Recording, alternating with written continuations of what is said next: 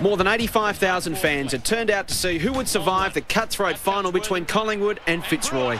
The Magpies went into the game slight favourites, although the Lions had comfortably beaten Collingwood in the last home and away game of the season at Victoria Park, which cost the Magpies top spot and the all-important double chance. First, Collingwood seventh. The Magpies opened strongly and led by 21 points at quarter time. In the second term, it was Collingwood's talented forward line that put them further in front.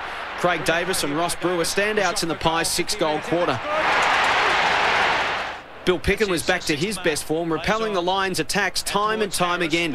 And Collingwood favourite Ricky Barham was dazzling off his wing, running forward to kick a memorable goal. Judgment of a player that's played many finals matches and saves for Collingwood. Half-back line. Looking for Williams. A good pass right on Williams' chest.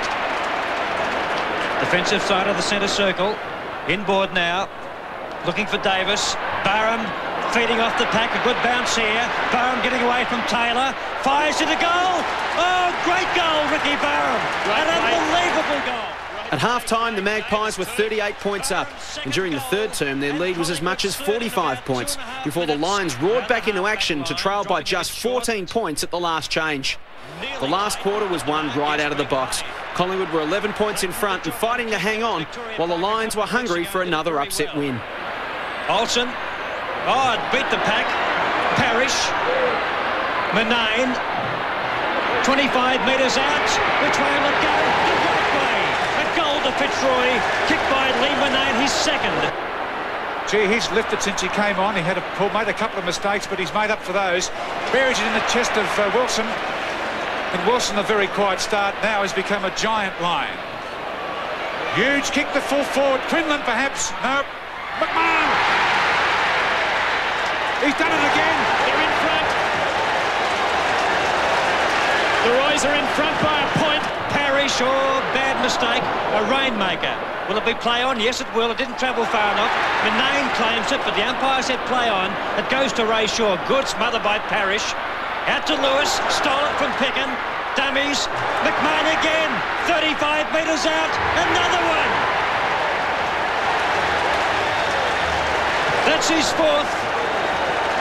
Fitzroy seven points in front. Well chased by Manane. Well done, Lee Manane. Now Davis, though.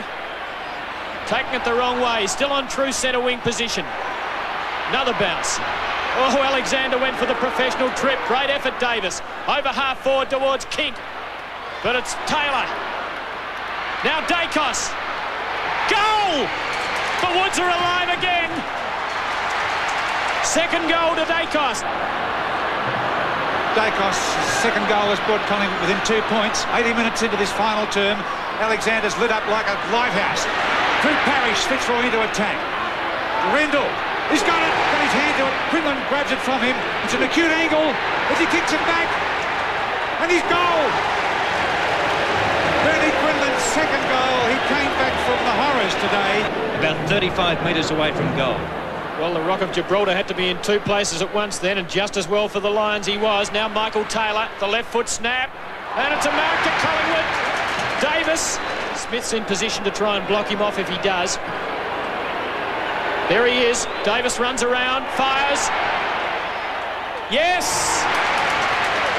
Third goal to Craig Davis. And again the margin two points. What a first semi-final. Dropping back is Poynton. Off the pack. Poynton.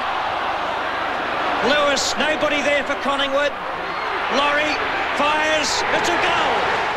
With an eight-point lead and only minutes left in the game, Fitzroy could have killed off Collingwood, but two costly misses left the door open for the Pies, if they were good enough. Play on. The umpire nearly paid it. Davis. Support from Tony Shaw. Doesn't need it. Down towards Brewer. Serafini wearing him like a glove. Brewer best to recover. Over the top to Daicos. Yes, he's going to Daicos, And Daicos is marked about 40 metres out from goal. Daicos with two goals. 10 points the difference. It's a goal, okay. It's four points. And this centre bounce again crucial for both teams. And they'd love him to kick a fourth. 28 minutes into the last quarter of the first semi-final. Fitzroy by half a kick. Here goes Kink. Well tackled. Barham out wide. Past Olsen made him stop. Backed up by Ray Shaw. Pass to Brewer. Was it a push? Yes, it was. It's Davis. But he can kick the ball very long distances. He's kicked three goals. Big torpedo, swinging back, won't make it. Brewer! Collingwood are in front! Ross Brewer, the hero. That's his third.